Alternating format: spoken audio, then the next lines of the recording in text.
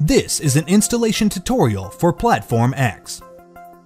Here are the four parts of this tutorial.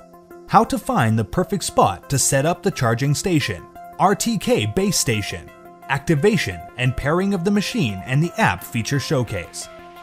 Once you've received the package, please inspect all components to make sure they are all present and in good condition. In this part of the video, I will show you how to find an ideal spot for the charging station. There should be no obstructions within 5 feet directly in front of the charging station, and the area around the charging station should be fully covered by Wi-Fi. The charging station should be placed on a flat, open grassland. The grass in front of the charging station should be maintained below 4 inches. Do not install on a slope. The area behind must be free of obstructions for 5 feet. Installing under a tree will interfere with Wi-Fi reception. After finding a good spot for the charging station, secure the charging station firmly to the ground with charging station ground stakes. Then, insert the QR code charging board into the designated slot. Use the extension cord to connect the power adapter.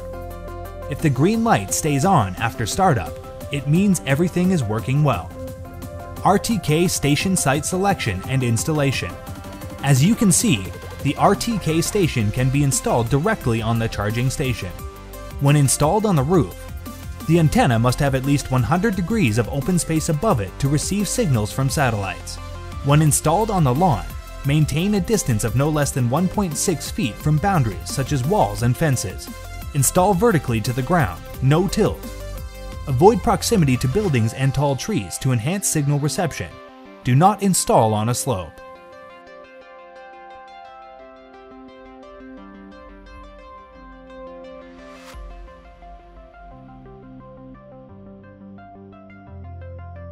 Here is how you set up the RTK base station on the lawn. First, connect the station rod to the station deck. Then, pull the wire out of the small hole in the edge of the station deck. Then, secure the RTK station with ground stakes. Here is how you set up the RTK base station on the charging station. First, put the nut behind the charging station. Connect the two white capped wires from the charging station and the RTK station rod. Then, slide the RTK station rod through the nut all the way to the end. Then tighten the nut securely to hold the rod in place. Then you can extend the rod to the fullest and rotate the middle handle to lock its position. Then turn the antenna head up facing the sky. Connect the extension cord with the adapter cord and tighten the connector. Once connected to the power source, you can verify its proper functioning by checking the green indicator light. In this part of the video, I will show you how to activate and pair your mower to your smartphone. First, put the mower onto the charging station. Make sure the mower's electrodes and the charging station's electrodes are touching each other. Once charging connection is established, a green light will blink on the charging station to indicate charging in progress. Then you can turn the mower's power on. Enter the default password 0000. Download the app by scanning the QR code. Please make sure the Bluetooth on your smartphone is turned on and the phone is connected to the Wi-Fi. Sign up for a new account. Log in. Then add the mower to your account by scanning the device QR code. Wait for pairing to finish. A pop-up will appear for device naming. Click Skip or Save to proceed. Click Devices. Click your mower. And click the Settings button on the top right to see all the available preference settings for your mower, such as cutting height, rotation speed, and moving direction. Click More Settings. Click Wi-Fi settings, then connect your mower to your home Wi-Fi by entering the Wi-Fi password. Note that the mower and the smartphone must be connected to the same Wi-Fi. Click Connect, and the machine will display a Wi-Fi connection animation. Check the display panel on your mower to see if Wi-Fi is successfully connected.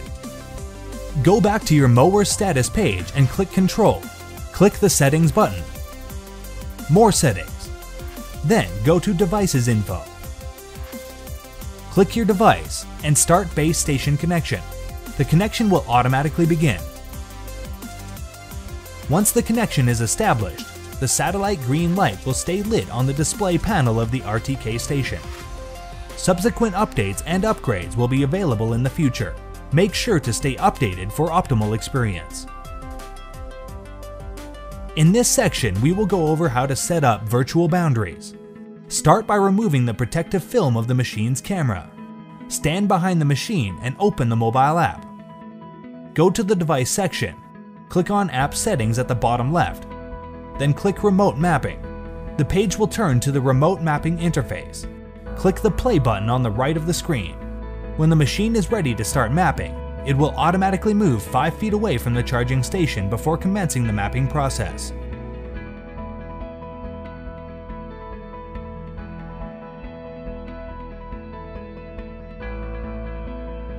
You can control the mower's movement with the toggle. Follow the instructions and guide the machine around the garden borders to form a closed virtual boundary. Click stop and confirm when you are done and your map will be automatically generated. Click the obstacle button to further set up your map. Click obstacles and then guide your machine around the obstacle to register an obstacle. You can also set up no-go zones, virtual walls by manual selecting an area of the map on your smartphone screen. Go to Corridor and guide your mower to set up a corridor.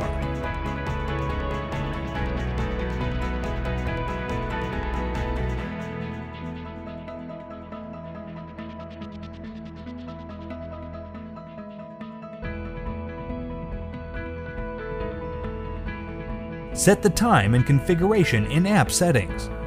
Change cutting height according to your preference from 0.8 inch to 4 inches. Also, you have the option to select from two cutting speeds, a high speed of 3000 RPM or a low speed of 2800 RPM. When the rain delay function is activated, the machine will recognize rain on rainy days and automatically return to the charging station. After the rain stops, it will pause for a delay before resuming its work. You can also set up daily time according to your preference. You also have the option to change mowing direction or customize your own. Next, set up a working schedule for your mower and it will follow the scheduled routine thereafter.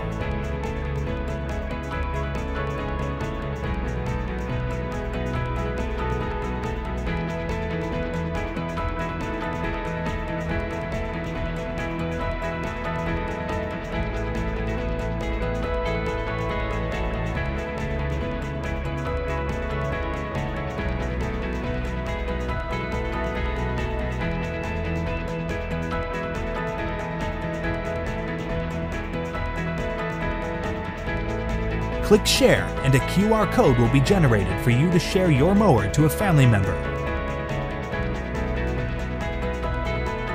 Smart Lawn Mower. Intelligent future. Technology transforms life.